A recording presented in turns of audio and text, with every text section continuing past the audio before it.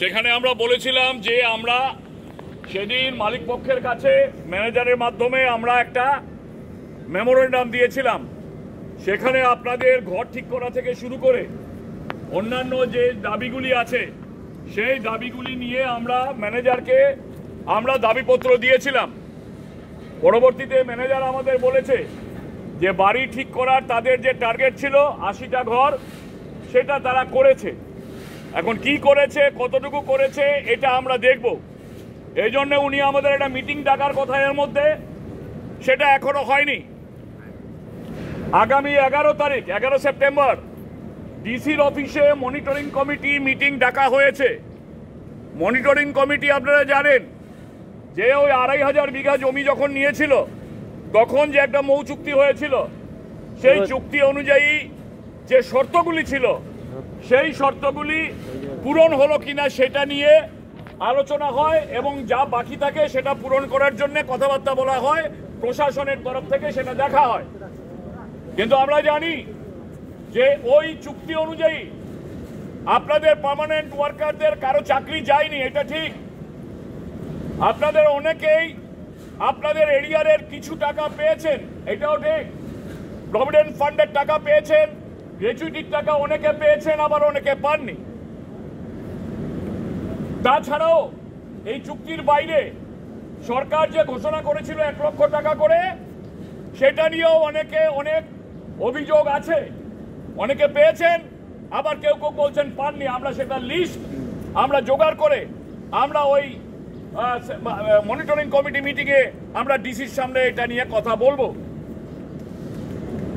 একই সঙ্গে অন্যান্য যে বিষয়গুলি আছে, সেই বিষয়গুলি নিয়েও আমরা কথা বলব। অর্থাৎ এক কথায় যেটা এক মাসের মধ্যে যে দাবিগুলি পূরণ হওয়ার কথা ছিল, সেই দাবিগুলি আজকে এক বছরের উপর হয়ে গেছে। এখনও সেগুলো সম্পূর্ণ পূরণ করা হয়নি। এবারে আমরা মনিটরিং কমিটি মিটিংয়ে এইটা নিয়ে আমরা পুরোপুরি আলোচনা করব। এরিয়ারের টাকা কত টাকা দিয়েছে, কত টাকা পাওনা ছিল, কত টাকা বাকি আছে এই ব্যাপারে আমরা মালিক পক্ষের কাছ থেকে এখনও কোনো হিসেব পাইনি। পরিষ্কার হিসেব যেটা দেওয়ার কথা, মালিক শুধু বলছে আমার সব দেওয়া হয়ে গেছে, কিন্তু আমার শ্রমিকরা বলছে যে না, আমরা অনেক কিছু পাইনি। এই প্রশ্নে এগারো তারিখে আলোচনা হবে ডিসির অফিসে। দ্বিতীয়ত, ওই চুক্তিতে একটা শর্ত লেখা ছিল যে আড়াই হাজার বিঘা জমি সরকার নিচ্ছে এয়ারপোর্টের জন্য। এরপর আর কোনো জমি তারা অধিগ্রহণ করবে না। কিন্তু আমরা জানি, পরবর্তীতে তারা বলেছে আরও সত্তর বিঘা জমি তারা অধিগ্রহণ করবে। এবং ঘর বাড়ি একশো তিয়াত্তরটা ঘর বাড়ি ভাঙা হবে। সেই কাদের ঘর ভাঙা হবে তার লিস্ট তারা আমাদেরকে দিয়েছে। সেই অনুযায়ী আমরা কথাবার্তা বলেছি। লালবাগের অনেকে এবং টিলা লাইনের অনেকে আমাদের লিখিতভাবে জানিয়েছে যে তারা ঘর বাড়ি ভাঙতে দিতে প্রস্তুত নয়। অথচ সরকার থেকে প্রচার চালানো হচ্ছে। যে শ্রমিকদের সঙ্গে আলোচনা হয়েছে, ওরা রাজি। কাল মুখ্যমন্ত্রীও বললেন যে আমরা ঘর বাড়ি বানিয়ে দেওয়ার ব্যবস্থা করছি। এখন প্রশ্নটা হচ্ছে যে ঘর বাড়ি বানিয়ে দিলে আর টাকা দিয়ে দিলে আপনাদের কি সমস্যার সমাধান হবে? যদি চাকরি না থাকে তাহলে খাবেন কি। সুতরাং এই প্রশ্ন আছে এবং এই জন্য আমরা সিআইটিউ থেকে এবিসিএমএস এর থেকে আমরা দাবি করেছি যে আর কোনো জমি যেন অধিগ্রহণ করা না হয়। কারণ যে এই মুহূর্তে এই বাগানের উৎপাদন পঞ্চাশ শতাংশ কমে গেছে। সেই অবস্থায় আমার শ্রমিকদের আগামীতে কাজ পাওয়া মুশকিল হবে।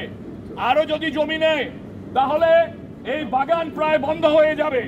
এই পরিস্থিতিতে আমাদের শ্রমিকরা এই বিষয়টাও আমরা পরিষ্কারভাবে জানিয়েছি আমরা প্রতিবাদ জানিয়েছি এবং এই নিয়ে আমরা শ্রমিকদেরকে আলোচনা করতে চাই শ্রমিকদের মতামত দিতে চাই একটা আন্দোলন তৈরি করতে চাই।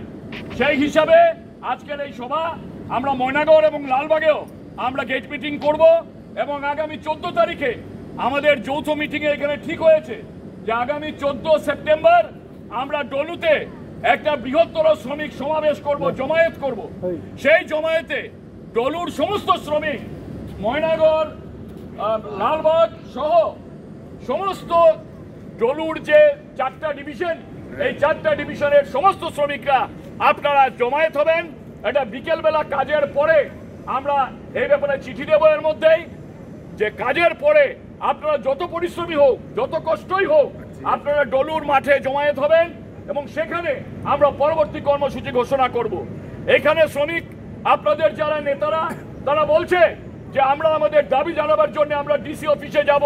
প্রয়োজনে আমরা ডলু থেকে পায়ে হেঁটে পদযাত্রা করে আমরা ডিসি অফিসে যাব। রাস্তায় আমরা ব্যবস্থা করব। আপনাদের জল খাওয়ানো, শরবত খাওয়ানোর সমস্ত ব্যবস্থা আমরা করব। সেই জায়গাতে শ্রমিকরা যদি ঐক্যবদ্ধভাবে আজকে যদি এই জায়গায় সামিল না হন, তাহলে আগামীতে কিন্তু আমাদের আর কিছু করার থাকবে না। এই জমি রক্ষা করতে, বাগান রক্ষা করতে আমি পারব না। পারবেন আপনারা। সুতরাং আমরা শুধু আপনাদের সঙ্গে থাকব। আগেও ছিলাম, এখনও আছি। আগামীতেও থাকব। এই এবিসিএমএস সিআইটির পক্ষ থেকে সারা রাজ্যব্যাপী এই ব্যাপারটা তারা জানে এবং সারা রাজ্য থেকে আমাদের জানানো হয়েছে যে আমরা আর জমি দিতে প্রস্তুত নই। সুতরাং এই ব্যাপারে শ্রমিকরা যেন ঐক্যবদ্ধ থাকে যেন কোনো বিভেদকামী শক্তি যারা আজকে আমাদের বিরুদ্ধে কথা বলে যারা শ্রমিকদের মধ্যে বিভেদ সৃষ্টি করতে চায় তাদের কথায় আপনারা বিভ্রান্ত হবেন না। আপনারা ঐক্যবদ্ধ থাকুন এবং আপনাদের দাবিগুলি যাতে আদায় হয়, সেই ব্যাপারে আপনারা সচেষ্ট হবেন। আমি বেশি কিছু বলতে চাই না। আপনাদের কাজে যাওয়ার সময় হয়েছে।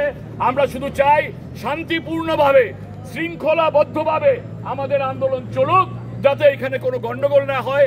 এইখানে যাতে এমন কোনো সুযোগ দেওয়া না হয় তাদেরকে, যে যাতে আমাদের এই আন্দোলনটাকে বানচাল করা যায়। সুতরাং এইটুকু বলে আপনারা এখন কাজে যাবেন। সময় মতো কাজে যোগ দিন। আপনাদের যাতে কোনো অসুবিধা না হয়, সেটা আমরা দেখব। পরবর্তীতে আমরা চেষ্টা করব আপনাদের সেকশনে সেকশনে আপনাদের সমস্যাগুলি নিয়ে আলোচনা করা এইটুকু বলে আপনাদেরকে অভিনন্দন জানিয়ে